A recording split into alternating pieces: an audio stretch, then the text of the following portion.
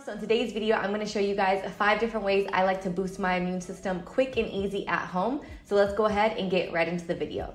So the first way is using an elderberry syrup. Elderberry syrup can be found at like CVS, Walgreens, Rite Aid, Whole Foods, Trader Joe's. And the elderberry herb binds with the H1N1 flu virus and blocks it from entering the cells. It's used to treat colds, flus, and allergies to remove the mucus from the respiratory system.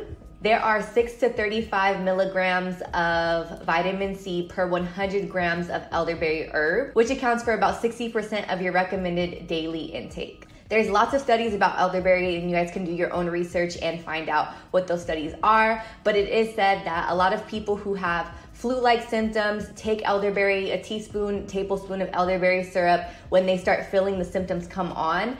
And after 24 hours of taking the elderberry syrup, a large percentage of people have have reported improvements within those symptoms within 24 hours of taking the elderberry syrup. Just one cup of elderberry contains 870 milligrams of vitamin A, 406 milligrams of potassium, 52.2 milligrams of vitamin C, 9 milligrams of folate, 55 milligrams of calcium, and 2.32 milligrams of iron. So the way that I incorporate elderberry in my routine is I'll grab a spoonful of my elderberry syrup that I made and then I'll take it in the morning. You do want to be careful because it is packed with vitamin C and for me personally it does give me a lot of energy. So I prefer to take it in the earlier part of the day because I don't want to stay up all night. I do have a full recipe and an in-depth process of how I like to make my own elderberry syrup at home and I will go ahead and link the video down below in the description box. The third way that I like to boost my immune system at home is using tea infusions or decoctions. Pretty much every herb in my herb collection has some type of health benefit to boost the immune system. I'm gonna use herbs like chaparral, sarsaparilla, tila, yellow dock, Chaparral is an antibacterial, anti-tumor, anti-inflammatory, and it treats the respiratory system. But with chaparral, you have to use this for a very short period of time. A lot of these herbs are super powerful, and if you do have uh, other health issues, it can actually trigger something that can be potentially harmful to your body. So you do want to go ahead and verify before using some of these powerful medicinal herbs. The next herb is sarsaparilla. This is an anti-inflammatory, antibacterial, and it binds with the toxins in your body to pull them away from the body and the blood. Tila is an antioxidant and an anti-inflammatory and it has been used in traditional medicine to support the immune system. It's also great for stress, for anxiety, and also for sleeping at night. So, in this time, if you are suffering from any type of anxiety, any type of nervousness, things of that nature, Tila is a really good relaxing herb. Yellow dock is an antibacterial and an anti inflammatory, and it has been used to purify the blood and for inflammation of nasal passages and the respiratory tract. Yellow dock is a super herb and it's gonna do a whole lot for your body is an antibacterial, anti-inflammatory, and anti-influenza. This herb is primarily used to remove mucus from the respiratory tract and the lungs. So obviously out of these herbs, yellow dock is gonna be more of a dense herb because it is a root. So first I would take the yellow dock and I would boil it for about 15 to 20 minutes because the remainder of the herbs are more delicate so you'd want to go ahead and infuse them in the water. I have a more detailed video about diffusions and decoctions and I will go ahead and link that down below in the description box so that you guys can go ahead and get a deeper dive into what that actually means. Basically, certain herbs can only be cooked, heated, boiled, simmered at a certain temperature. After you've reached or surpassed a certain temperature, you're actually stripping it away from its natural medicinal purposes, whether that be minerals, vitamins. So you wanna make sure that you're not overcooking or over boiling or over simmering some of your herbs because you're not gonna get the actual properties in the herbs that you're using them for. The fourth way that I like to go ahead and boost my immune system is taking a Bladderwrack sea moss shot. Now the way that I like to do this, I like to take one fourth teaspoon of sea moss powder. Sea moss alone has 96 of the 102 minerals that are in the body. It is very high in iron, soothes irritated mucous membrane from colds, cough, bronchitis, and intestinal problems. Sea moss is also used to support, support joints and healthy skin. It's also used to boost the immune system and reduce inflammation, improve digestion. It's antibacterial, anti-inflammatory, and a laxative. Sea moss has so many benefits. It has 96 out of the 102 minerals, so you already know it's gonna hook you up with your immune system. Next, I like to add one fourth teaspoon of bladderwrack powder. Now, bladderwrack, once again, is another super herb. It's gonna have the remainder of the 102 minerals, making this concoction a shot of 102 minerals that you can take in the morning when you wake up. You can feel the energy go through your body. It also tastes like the ocean, so it's not the most it's not the most enjoyable shot, but it's just a quick shot. And after that, you're good. You have 102 minerals, so you just gotta suck it up. I also like to add one whole lime. I personally am a citrus freak. Like, I can eat limes and lemons all by themselves. So, this might be too much for somebody who doesn't like citrus, but I like to add a whole lime squeeze and then I like to add a tiny bit of spring water to kind of uh, easier consistency. I also sometimes do it just with lime. It just kind of depends. But for those of you guys who don't like citrus, using a larger amount of spring water is probably gonna be better for you. But I will say that the lime does help drown out the ocean sea flavor of the sea moss and bladderwrack, just my personal opinion. But bladderwrack is great because it's high, it's a high source of iodine. It treats iodine deficiency and it treats underactive or oversized thyroid. It's rich in calcium, magnesium, potassium, and it can also help with weight loss. One 580 milligram supplement contains 155% of the iodine recommended daily value. It's also anti-candida, antibacterial, and an anti-tumor.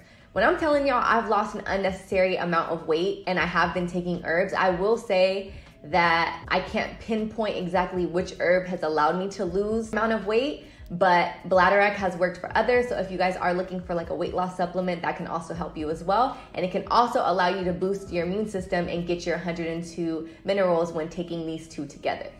The second way I like to boost my immune system at home is using a fresh juice compact with a lot of minerals, nutrients, and fresh fruits and vegetables. Celery is great because it's packed with vitamin C, beta carotene, and flavonoids, and there are at least 12 additional antioxidants in a single stalk of celery.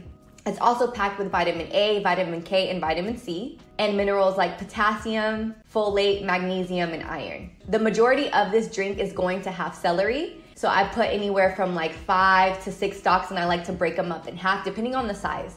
And next for liquid, I like to add fresh squeezed orange juice. Oranges are great because once again, they're packed with a lot of vitamin C and one orange can offer 116% of the daily recommended dose of vitamin C. Vitamin C is also super important in boosting up your immune system and keeping away things like colds and flus. Typically, I like to use anywhere from one to two oranges. You can also mix this with water if you like. And I also like to add lime juice to this. Limes are great because once again, they are packed with vitamin C. Having a fresh shot of a single shot of lime in the morning can help boost your immune system. It's packed with vitamin A, vitamin C, vitamin B, and vitamin D. It also contains potassium, magnesium, and calcium. Then for just a little bit of sweetness, I like to add a tiny bit of mango.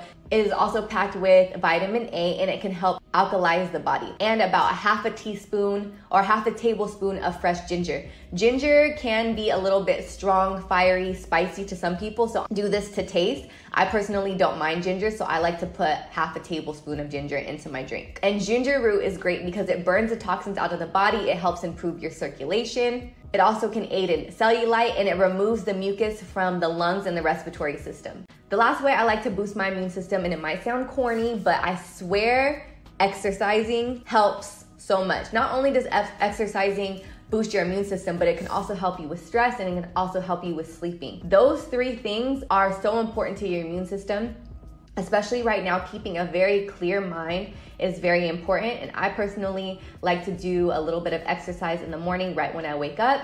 And I've been doing my 10 minute ab workout, which I actually have on YouTube. I will go ahead and put it down below. It's 10 minutes, it's 45 seconds on and 15 off, and then it goes into the next exercise.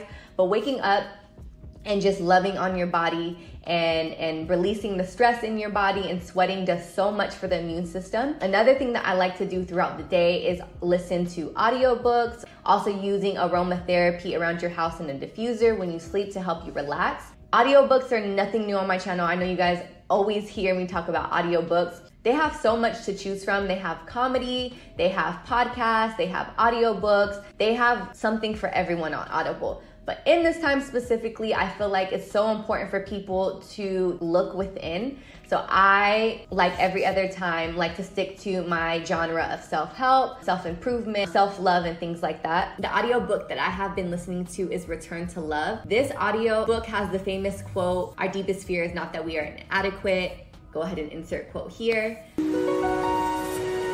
What holds us back in our lives is our fear. Our deepest fear is that we are powerful beyond measure. It's our light, not our darkness, that most frightens us. We ask ourselves, who am I to be brilliant, it was also the quote that was on Coach Carter. Biggest thing that has helped me with this self quarantine is just listening to positive things as I'm working out or in the morning when I'm cooking or throughout the day when I'm just chilling around the house, just listen to the audiobook. You can literally finish a whole book in one day. Have someone, have something speak positivity into your life in this time. So if you guys are interested in Audible, you guys can go ahead and click the link down below and go to www.audible.com slash findguru or text findguru to 500 500. I will have all the links down below in the description box. Yeah guys so that's basically my five ways that i like to boost my immune system at home. If you guys have any other ways that you like to boost your immune system go ahead and put them down below if you have any questions about any of the things that I mentioned in the video or you want more in-depth answers on some of these points, go ahead and reference to the description box. I will go ahead and link some of the videos that I already have up down below. Let's use the comment section as a way to inspire or encourage others, especially in this time. Don't forget that if you guys are interested in listening to some positivity and some great audiobooks, go ahead and go to www.audible.com slash findguru or text Find Guru to 500 500. Thank you guys so much for watching. I will see you in the next upload. Bisous!